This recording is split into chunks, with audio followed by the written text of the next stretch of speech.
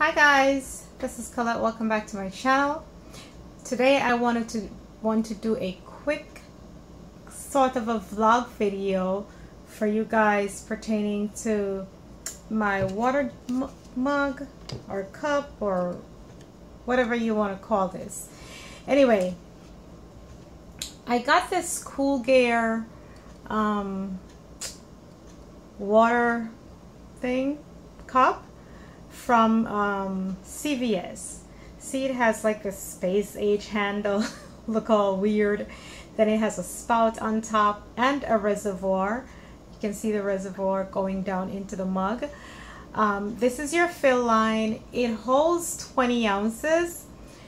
So, and the straw is pretty big. So when you suck on it, you are getting a good amount of fluid down your throat when you suck and swallow, of course. Anyway, um, as you can see, I have strawberries in the cup itself. It's not clogging anything. Uh, there's no filter. There's a little air hole on top. Anyway, the way you're supposed to use this cup is the reservoir. You know, if you use those um, Dasani or Crystal Light or whatever, those things that you use to flavor your water, you can put that in there. And I was told via Instagram by the company that you, it's good when you fill the reservoir. It's good for eight eight pumps. So eight eight different times you can pump um, your flavor into your water. Now, I like the cup because it allows me. I just drink two of this for the day and then an eight ounce um, an eight ounce cup of water and that's my quote that's my quota for the day. Um, lately like I said back to the strawberries I digress. I've been putting fresh strawberries in there because they're frozen and it makes the water cool for me when I just put the plain um, filtered water from the tap or boiled water from my kettle that's cooled down so that's the water I tend to pour in here. I usually put liquid, um, the bottled lemon juice that I keep in the refrigerator.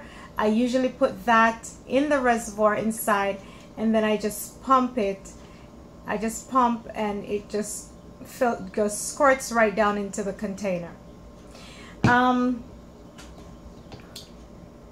you pull the lid up you pull the lid up, the spout, not the lid, but the spout up like that. It has a cap to cover it. This is the cap. And after you drink, you push that back and close it, and then you push it down that way. So um, I had, I think, $3.50 um, Easy Bucks off or something like that um, from CVS. The mug costs $9 um, I think it was nine dollars or nine ninety nine, something like that. It wasn't more than nine ninety nine, and I did get it for like six dollars and change with tax. So for me, it's it's a good buy, and I've been using it daily since I purchased it last week. So if you guys want to check this out at CVS, um, it's made by Cool Gear, and this is not a sponsored video. I did post it on Instagram, and the company did give me a little bit of explanation. I don't really care for this part of the handle. Um, kind of find that weird, but everything else um, I kind of like about it. So I wanted to share that with you guys. And if this is something that you're into, if you're into, um, you know, cool cups for toting your water around and getting your daily intake, then check this out because um, I like it. All right.